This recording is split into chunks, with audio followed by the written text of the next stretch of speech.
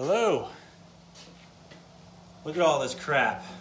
This is a bunch of stuff that I've accumulated over the last four years of window cleaning, having a business, just buying gear and crap that I don't need.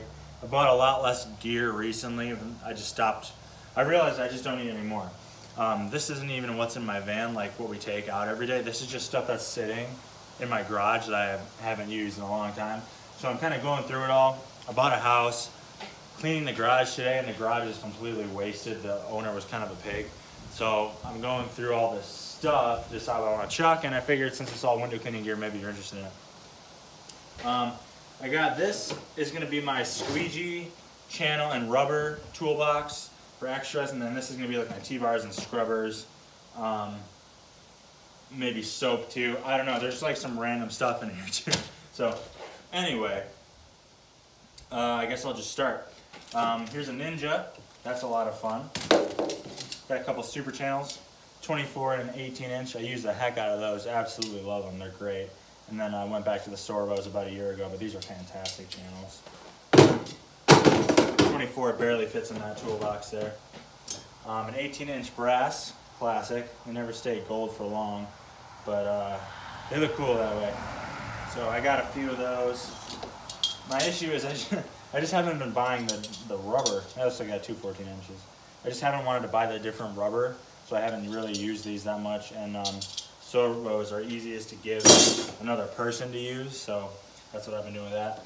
Here's uh, the Stevo accelerator, back when uh, the second version wasn't out.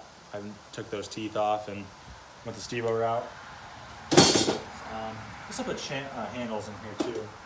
Have an old accelerator, um, just a classic Home Depot T-bar. We put that in here.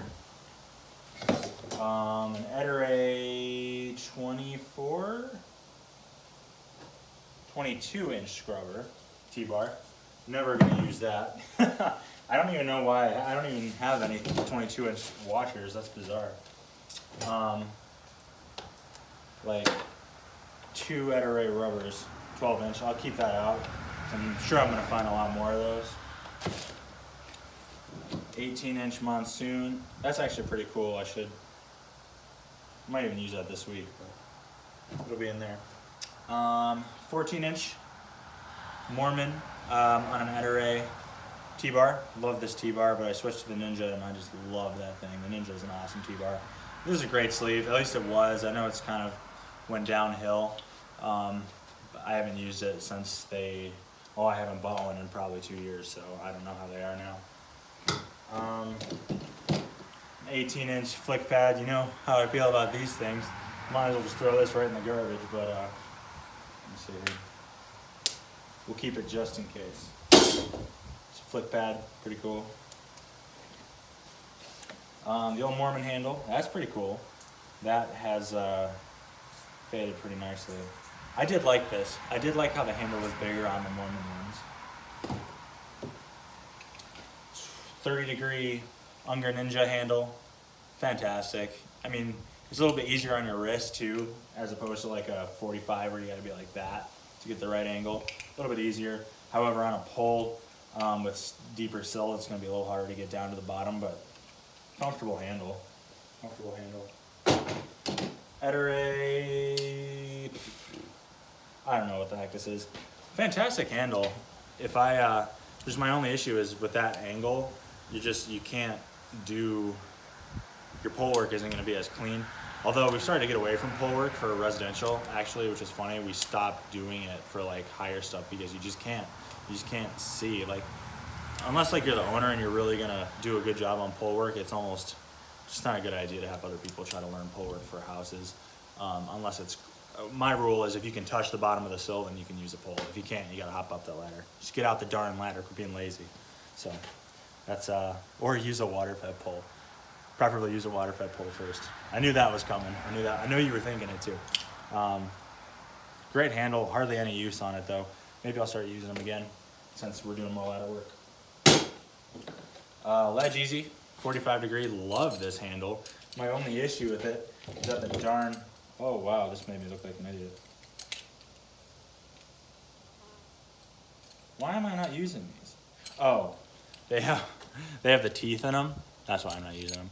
For some reason, when I went to Detroit Sponge, I picked these up off the shelf, and I bought the ones with teeth in them, as opposed to the ones without the teeth that just hold the channel, and I just hate that.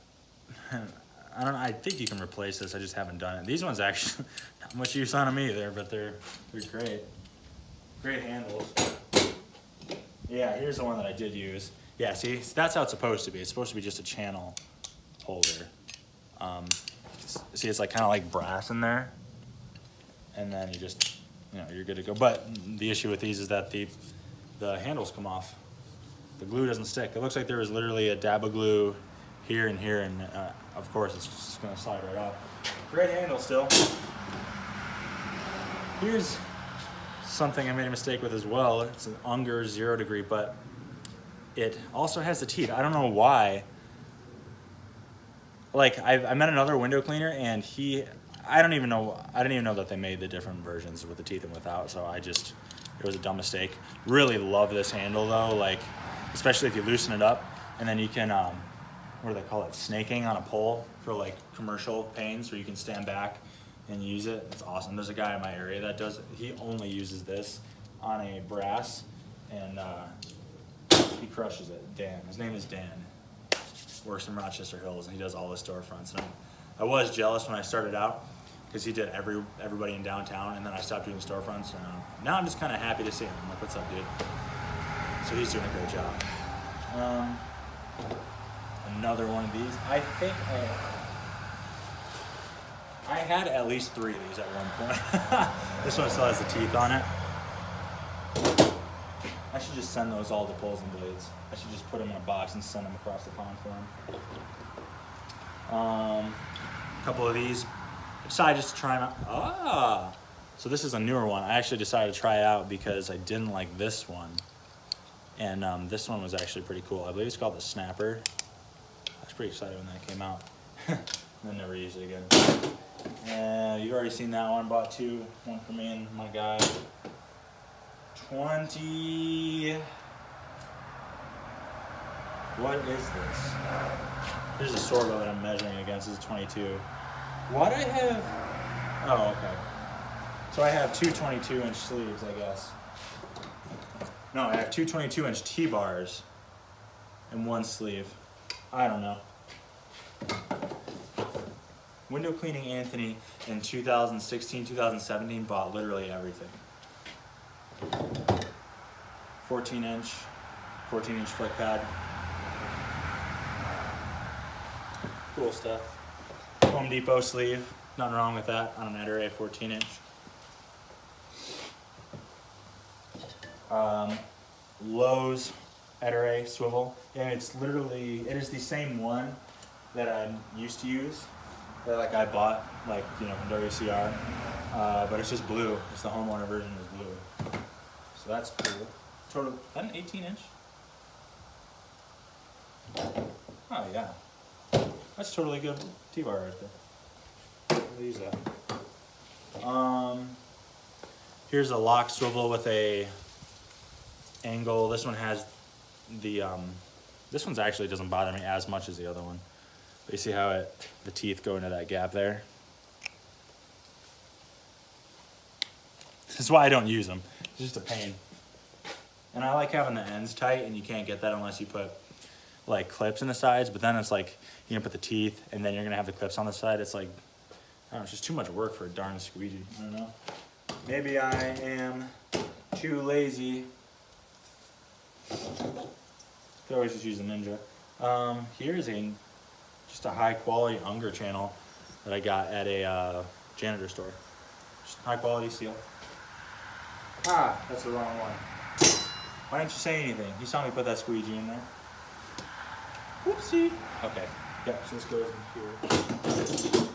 I'm gonna show you what's in this when I'm done so you can see. It's gonna be pretty nuts. Another one of these things. Um,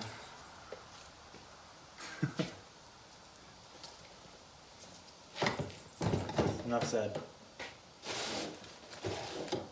Um, I bought this to go on the back end of my water fed pole and you can get bronze wool pads for it from Detroit Sponge. And I was like, yeah, I'm not gonna buy a hundred dollar zero scrubber um, unless I get sponsored by WCR. Wink, wink. If you guys want to do that, you can send me one. I'll use it. But uh, I bought this to impersonate that one, and it just doesn't work at all. That's why, because the bronze wool didn't stick to this. It didn't stay on at all. When you're working, it kind of flops around, which isn't a horrible deal. Like it's not that big, like not that bad. But the issue was that the bronze wool would just fall off when you're working, and then it's like it was kind of dumb. So this is, I mean, this is essentially useless. I'm never, I don't want to say never. Maybe I'll use it for like one of these things. Yeah, that grip's really darn good. Okay, so you could always use that for something, but I mean, I haven't had to use this in years. It's basically this. Unger. Where did I get this at? This, I would have gotten this at Home Depot. So, I don't know. In case there's like a weird mirror that you literally, for some reason, you can't get a ladder or a pull in, you could use these. They kind of just move the dirt around though, so unless you know what you're doing, they're kind of tricky. They're tricky. Tricky, tricky. I'm running out of space in here. More of these pads, I bought a bunch of them because I had a job. That's why. I had a job. This house was like $400 to the outside only. And it looked like we, we called it the James Bond house, me and Alec, when we did it. It was like when I first started in these big old curved glass and they had like these huge, like just this row of just windows, like obviously, but they were like high up. And I had to like get up on a balcony to, I can't even, I don't know how to explain it to you. There was just, it was just like a row of skylights, like one after the other. And there was no way to reach them because they're just in the ceiling. Like, it was weird. So I did them all with this. And um, it didn't look great, but the customer was cool with it because she, she basically had no other way of doing it. And so she was fine with it. Um, excuse this. Like I said, the guy who owned this house was a, was a slob, so it's uh. You should have seen the inspection report for this garage. It was pages, pages long just for the garage. Unbelievable. Um, bunch of shoe covers. Might keep these out somewhere because these we need more often. I tend to go through them. They rip. They just rip so easily, especially if you wear them on the porch. Uh, you're gonna rip them really fast. Dropping them everywhere like an idiot. I'm just gonna put these right here for now.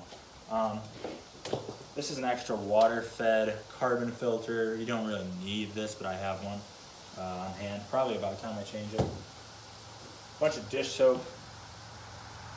These are actually pretty, these are empty. These two are. So those are good for spray bottles if I need them. Put them in here. This is what I use on interiors. Sorry about that.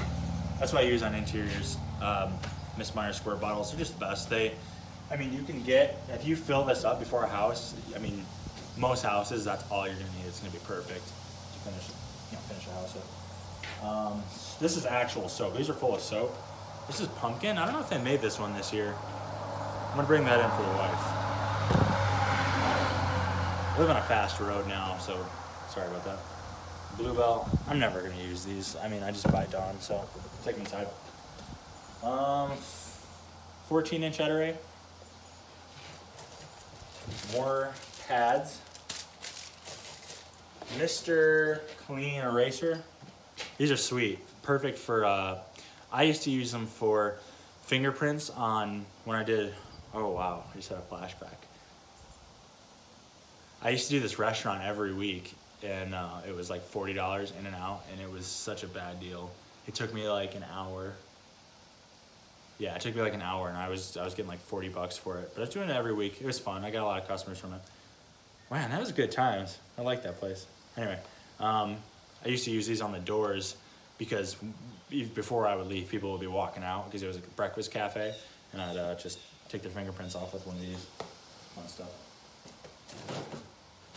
Don't really use them nowadays. Yeah, you know, maybe I'll just take it inside because I don't use them. I don't use them for work. We don't we don't clean with them anymore. Um, Scotch-Brite non-stick. don't use on non-stick pad. It's a non-scratch. Um, use these for like a week just to try them and as a method of replacing steel wool to be more sustainable. But um, you just can't beat steel wool, bronze wool. Bought this for literally one job, $10 storefront. Guy was like, can you dust off my pipes? And I was like, sure, mister. I need the money. I'll do anything. So I bought it to dust the pipes off and then he ended up canceling and I never, never used it. That's just funny. I remember I ran out to do, I drove an hour to Detroit Sponge too because I was like, oh God, I gotta make sure I have this duster. Better make sure I have it. Never gonna use it. Uh. So the question is like, what do I do with this now? I don't, no use. We'll just put it with the scrubbers. Um, bunch of rubber. That looks lightly used. Here's a Sorbo factory edge. Nice. Factory edge 18 inch. Yeah, I actually needed some of this. Um, big issue is keeping your rubber separated. Now, if you were Ettore and you just put, uh, gave everybody a container with your rubber, then you would be awesome, but nobody does that except for Ettore. That's why Ettore is the best. I don't use their rubber. I like their rubber the best, I just don't use it because Sorbo's easier. Um, this looks like Ettore. This is all Ettore 12. Ettore 12. Ettore 12. I don't even hardly use 12. Yeah, this is all Ettore 12. Okay, so I don't know why this is not in here. But, um, you know who showed me how to do this? That was Luke and Rihanna. Do You guys remember them? I love I love Luke and Rihanna. It's been a long time. Hope they're okay. They haven't posted anything anywhere, not even like an Instagram post. Miss those guys. Um, Sorbo 24, Sorbo 18. Don't have a container for those. This is the Haas 36 inch super channel WCR. Um, I used this a couple times back when I had some big storefronts. Now, any windows this big, I just water fed pull them. So I don't do that. I don't do any storefronts really. And I don't want to buy the 36 inch rubber. It's a, I mean, it's a, it's a beast piece of aluminum though. I mean, I should do a break test on this. Ooh, that, that actually may have been it. Idiot. Would you guys want to see a break test of squeegees? I had this theory that nobody is doing crazy, bizarre stuff with window cleaning tools. Like, like a break test. Like nobody's like shooting a Sorbo handle to see how well it holds up. Is that something you'd be interested in? I know you tool guys love pretty much anything if it's a squeegee, so I, I don't know. Maybe it could be fun. A couple of channels. 22 inch Quicksilver. 18 inch Cobra. 16 inch Cobra. I bought that on accident. Um, I accidentally bought that instead of an 18 inch. I was ordering it online. That's because this was my first squeegee ever. That's right. These two were my first real squeegees. I had the Walmart one. No, no, no Walmart. No, it was um, Lowe's.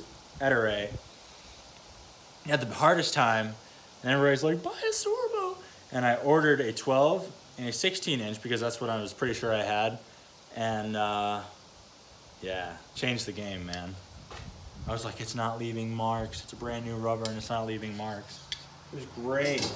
So a couple of Sorbos laying around. Pair of vice grips, just in case your customer gets a little... I don't know where I was going with that. A couple of... Um... Bob. Notice me, Bob.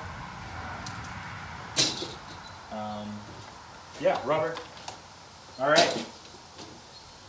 Eric Bland gave me this probably three years ago. You guys might not know this, but Eric, you probably know who Eric Bland is. Eric Bland used to live five minutes down the road from me. And that was just like the weirdest thing. Neither of us knew that until it just, how did that happen? I don't know. We like met somewhere randomly. And then uh, we're like, dude, we live five minutes from each other. And he's like, here, try this GG4. And he gave it to me for free. And I'm really sorry, man. It's been sitting in this Dawn bottle for probably, three, I'm so sorry, dude. It's, a, it's, exp- I mean, this is probably $10 in solution. Feel bad. All right. This video is gonna be gonna be a little long, so that's about all I got.